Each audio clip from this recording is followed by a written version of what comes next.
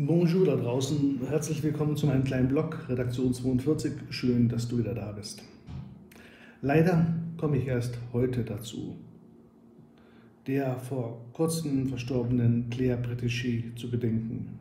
Die französische Comiczeichnerin verstarb bereits am 11. Februar 2020 im Alter von 79 Jahren. Ich traf auf ihre Comics als Schüler etwa Anfang der 80er Jahre des vergangenen Jahrhunderts. Ich kam von den Marvel, von den DC-Helden und machte einen Abstecher über Asterix und Lucky Luke. Ich liebte die Comic-Geschichten aus Yps und Zack und verehrte abgöttisch das Mad-Magazin. Und dann drückte mir mein Schulkumpel Alexander Faroga auf dem Schulhof eine Sammlung von Claire Bretéché in die Hand. Das Buch hieß Die Frustrierten und es erschien im Rowold Verlag. Die Comics waren anders als die Comics, die ich bisher gelesen hatte. Ganz anders. Die Bildergeschichten thematisierten Probleme einer intellektuellen städtischen Großstadtgesellschaft. Wohlstand pur. Sie konfrontierten, konfrontierten mich mit Feminismus, sie diskutierten Fragen der Kirche, der Religion und ich erfuhr von ihr Theorien der antiautoritären Erziehung, die ich bisher nur aus dem schweren deutschen und grottenlangweiligen Autorenfilm kannte. Nicht, dass ich als Schüler all diese Probleme selbst erlebt, geschweige denn verstanden hätte. Aber der Stil von Claire Bretéché gefiel mir. Sie zeichnete und sie verfasste ihre Comics selbst. Es waren Schwarz-Weiß-Geschichten, reduziert.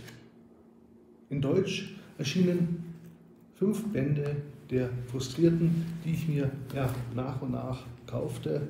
Meinen Kumpels sagte ich nichts davon.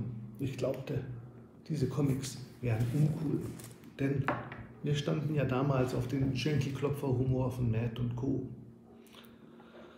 Als ich Jahre später die Comics von Ralf König las, allen voran der bewegte Mann, erkannte ich Claire Bretéché wieder. Die große Dame des französischen Comics hatte einen gewaltigen Einfluss auf die deutsche Comic-Szene hinterlassen. Claire Bretéché hat in den 70er Jahren mit den Frustrierten nicht irgendeinen Comic-Klassiker geschaffen, sondern den ersten feministischen Comic und einen der für mich komischsten Serien überhaupt. Sie war eine der ersten Comiczeichnerinnen, die ihre eigenen Geschichten zeichnete.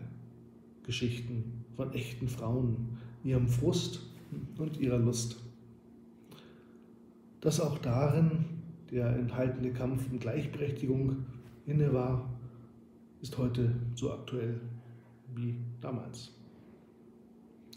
Im Jahre 2016 wurde Claude Protégé beim Comic-Salon Erlangen als erste Frau mit dem Sonderpreis für ein herausragendes Lebenswerk des Max-Moritz-Preises ausgezeichnet.